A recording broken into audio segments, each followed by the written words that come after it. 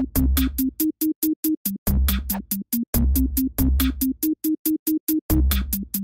One of the most requested topics on the channel recently is for me to talk about the rise and fall of Netflix. I would consider myself a bit of a movie enthusiast, so this is something that's been particularly interesting to me. Plus, when Jason Voorhees asks you to do something, you can't just ignore that. All of these requests are stemming from the fact that Netflix has been having trouble recently, potentially major trouble, to an extent where it has many people questioning the future of the company. The biggest way that this has been reflected is through their stock price. Within six months' time, it has dropped from the $700 range to the $200 range, or to express that in a more dramatic way, Netflix has lost over $200 billion in value in less than half a year, with over 50 billion of that disappearing within one day. It became the worst performing stock of the year in the S&P 500, and just overall not something you want to be a part of at the moment. Like, if for some reason you had celebrated Halloween by buying a bunch of Netflix stock right around their all-time high, you may be panicking right now. Maybe that's why Jason is so concerned with it. That's silly. And the main reason the investors have lost so much confidence in Netflix is because they've been having trouble growing their subscriber base. In fact, for the first time in over a decade, their quarterly report stated that they had lost subscribers, 200,000 of them over that quarter, and they predict potentially another 2 million of them in the next quarter. These are definitely things that I will be talking about in more detail here. There has been seemingly so much happening in such a short period of time. Back in December of 2020, I actually made a video talking about why Netflix was so successful, and at at that time, I would have never thought I'd be making this video about their potential downfall so soon after. Oh my goodness, that first video almost entirely focuses on how they grew their original business of renting DVDs through the mail. You may remember that at one point they were essentially an online version of Blockbuster. To summarize some of the main points from that original video, Netflix was an early adopter of DVDs themselves. It was impractical to send VHSs through the mail, so the introduction and rising popularity of DVDs in the late 1990s allowed them to exist in the first first place. They were also very focused on the long term, sacrificing early profits to grow a bigger customer base and establish a more stable business overall. A part of that involved spending crazy amounts of money on marketing to those potential customers, and they used technology to generate recommendations that were considered to be far more sophisticated and personalized than what the employee at Blockbuster was recommending. It is strange to think how those two were famously considered to be direct competitors at one point, but all of those efforts, among many others, helped build Netflix to over 6 million subscribers and 1 billion billion dollars in revenue before they ever streamed anything. Netflix has existed for 24 full years, 1998 through 2021. The first 12 were mostly concerned with the DVDs, while the next 12 were more concerned with streaming. So I see this as the perfect opportunity to pick up where I left off on the last one and talk about what has been happening during their streaming years. It was a slow start. The first ever Netflix streaming of any kind was announced in 2004. There was a lot of excitement going around after they announced that they would be joining forces forces with the DVR company TiVo to provide a revolutionary new service that would allow you to access movies over the internet straight to your television. TiVo was going to develop those set-top boxes while Netflix was going to secure the rights to show the movies and TV shows, a plan that may have been too ambitious because it didn't work out. Reed Hastings, the CEO of Netflix, later called it overly optimistic because they had trouble getting the licenses and then TiVo had trouble making the technology work. Overall, it was a big disappointment. The first true Netflix streaming didn't didn't occur until 2007 when they introduced their online platform called Watch Now. Again, maybe a bit of a disappointment in some ways. It had a comparatively limited selection of 5,000 titles compared to the 85,000 that were available through the DVD rentals. But it was meant to be more of a compliment anyway, like a little something extra for their subscribers, with the DVDs still being the main attraction. The following year, they made a deal with Roku where for $99 they would sell these boxes where you could access Netflix by connecting them to your television television. By this time, the library of titles had doubled, and it was starting to become more attractive to the customers. Over the next few years, they worked toward making it more accessible by creating deals with TiVo, Xbox, PlayStation, Nintendo, Apple to make it possible to access Netflix through their devices. By 2010, streaming had surpassed their DVD rentals, and they recognized that moving forward, streaming would be their main focus and the DVDs would be secondary. Obviously, over time, DVDs have become less and less significant to a point where today they account for less than 1% 10% of their total revenue. I do want to point out that this is not the first time that Netflix has run into some major trouble. Their transition from DVDs into streaming was arguably worse than what they're facing today, in that it led to upset customers, drop in subscribers, and a dramatic decline in their stock price. See, to start 2011, Netflix was charging $10 a month to rent one DVD at a time and to stream everything over the internet, all together as one price. Then, in July of that year, they announced that they would be separating it into $8 a month for the DVD and $8 a month for the streaming. Technically, a price reduction if you only wanted one of the services, but a sizable increase if you wanted to stick with both. Their customers generally wanted both and saw the increase as being unreasonable. Here's where it gets really bad. Two months later, CEO Reed Hastings put out what appeared to be an apology letter. It started by saying, I messed up, I owe everyone an explanation, but by the end of it, he announced that the two services would become even more separate with different billing and different names. The streaming service would continue to be called Netflix, but the DVD rental service would be renamed Qwikster with a weird spelling. The whole thing was almost unanimously confusing and disliked. They made a funny sketch about it on SNL where it keeps getting more and more ridiculous that I highly recommend. The whole response was so negative that they gave up on the whole Qwikster thing not even a month later. But within those few months, they had lost 800,000 subscribers, their stock price was reduced to about a fourth of where it was, and it took two years to fully get back to that point. Again, when looking back at it, Hastings admitted to being overly confident and moving too quickly. Probably one of the biggest reasons behind that recovery and their overall success in recent times would be their original content. This right here is what I find so impressive. Netflix was able to transition from renting the content into making the content. It's like if GameStop became one of the world's leading video game makers. In 2013, they debuted House of Cards, the first major TV show to be shown exclusively on a streaming service, and have since been responsible for some of the biggest movies and TV shows of our time, many of which have been recognized at the Emmys and the Oscars and all of the other award shows. I should also mention their international expansion is playing a big part. It was around that time that Netflix was first available in Europe, and they've since been aggressively making it available throughout the rest of the world. There are currently Netflix members in 190 different countries. That was my overview of the rise of the legendary Netflix streaming service. So now I want to talk about some of the potential reasons behind their potential fall. First off, I know that a lot of the reports out there are making things look really bad with these juicy headlines, and I agree that these are concerning times for them, but I want to take a look at a few external factors outside of their control that suggest this may be more of an unlucky short-term setback. Inflation is another one of the bigger stories. It's been really high lately, and when people are tight on money, they are likely to cut costs by eliminating unnecessary expenses like streaming subscriptions. Probably not one of the biggest reasons, but potentially contributing to the loss in subscribers. Another external factor would be Russia. They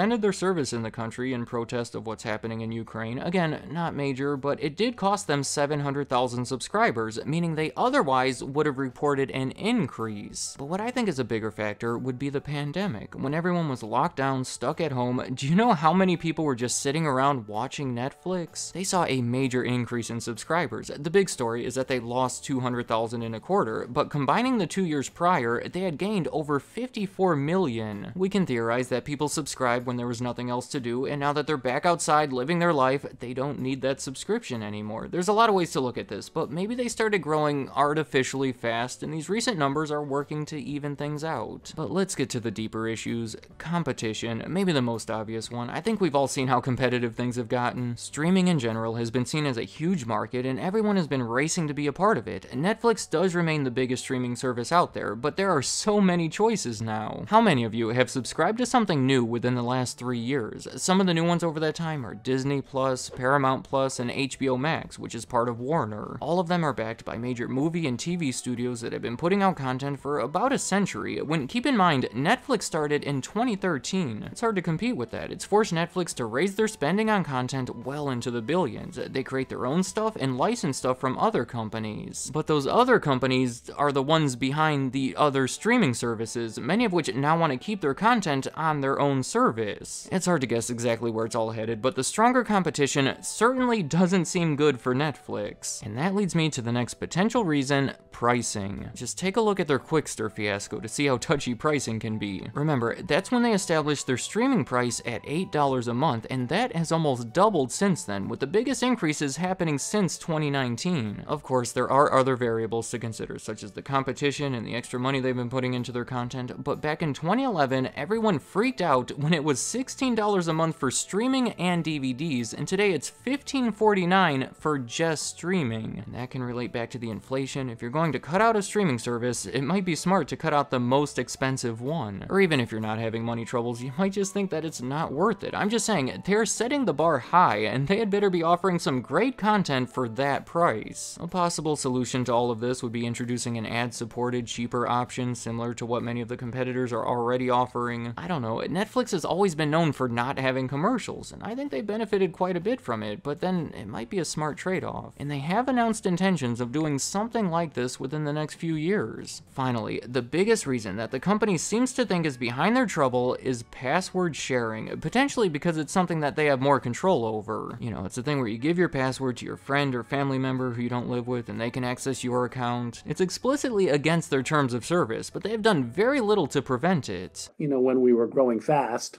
it wasn't the high priority to uh, work on. I think they do see benefits from it when someone uses someone else's account for a while. I imagine they're likely to get their own account eventually, but holy cow. They estimate that 100 million households are doing this, 30 million of which are in the US or Canada. Doing some quick math would suggest that one in five households in those countries are watching Netflix without paying for it. They say that they see it as an opportunity because they can improve their numbers if they simply figure out a pricing strategy that would make those people pay for for it. Uh, we just got to get paid, uh, you know, at some degree for them. They have been testing some ways to address it in select countries where they have these sub accounts. You can add extra member accounts for a few extra dollars a month. It's unclear exactly what's going to happen with it, but I imagine if they continue to struggle, something along these lines will be incorporated into their pricing. But as we keep seeing, the pricing can be touchy, so I doubt they're going to rush into it. Let me know in the comments, what do you see for the future of Netflix? Are they going to figure out a way past these issues like they've done in the past and remain the most popular streaming service, or are they going to get lost in the shuffle and maybe ultimately decline all the way down? That wouldn't be my guess at the moment, but these are questionable times. Also, do you agree with my reasons behind their potential decline, or do you think there's more to it? It's been debated that politics and scandals may be contributing factors, maybe you're critical of the content itself, which kind of relates to the pricing. Why do you think Netflix is running into so much trouble again after such an impressive 10-year streak? And finally, I want to know, what do you think is the best streaming service. If you could only subscribe to one of them, which one would it be and why? And any other thoughts you have about Netflix, leave them in the comments. I'd like to hear what you have to say.